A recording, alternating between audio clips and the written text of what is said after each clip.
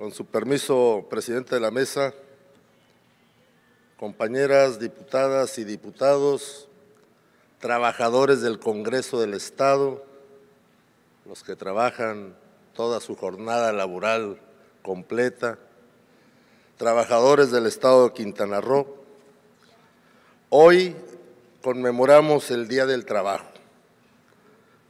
Los mártires de Chicago exigían jornadas laborales de ocho horas, trabajaban 14.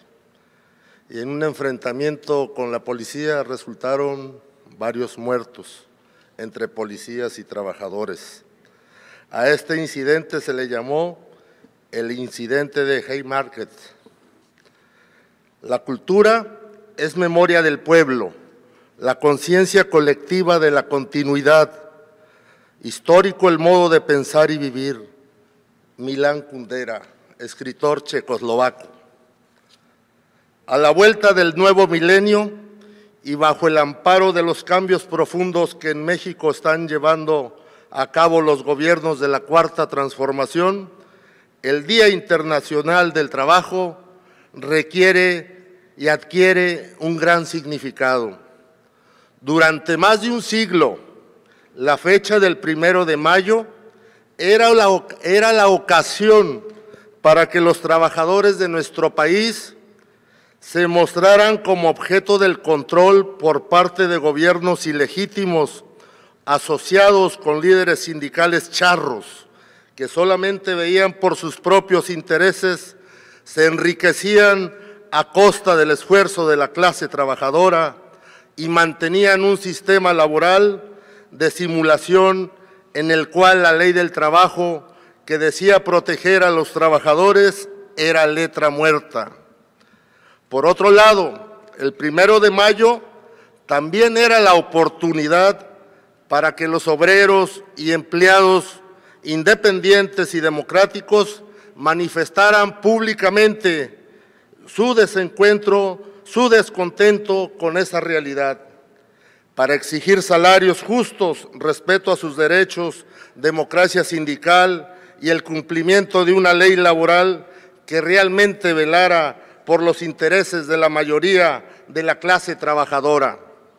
Hoy primero, hoy primero de mayo es para recordar si aquellas gestas heroicas de los trabajadores que se levantaron para exigir jornadas de trabajo justas y condiciones de vida digna y en nuestra memoria siempre estará la gratitud por ese esfuerzo precursor. Pero también es cierto que ahora podemos decir, ahora podemos decir que otras reivindicaciones más se han hecho posible gracias a los gobiernos representativos de las grandes mayorías nacionales y que siempre se mantienen cerca del pueblo.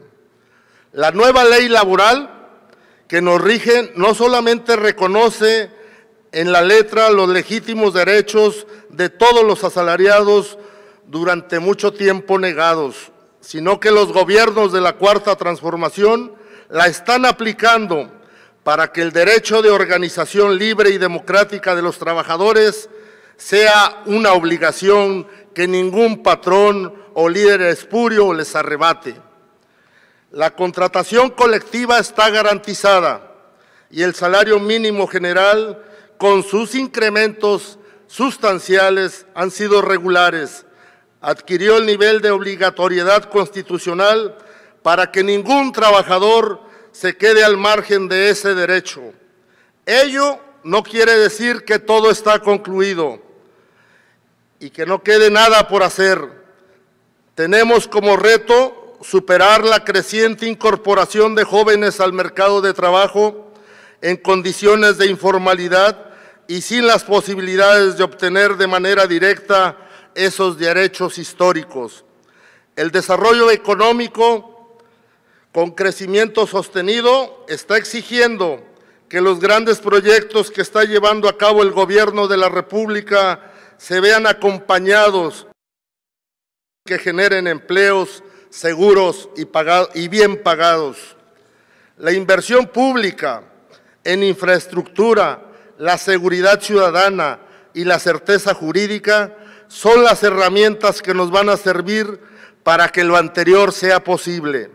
En eso se están empeñando tanto el gobierno federal que encabeza el presidente de la República, Andrés Manuel López Obrador, como el estatal a cargo de nuestra compañera y amiga Mara Lezama.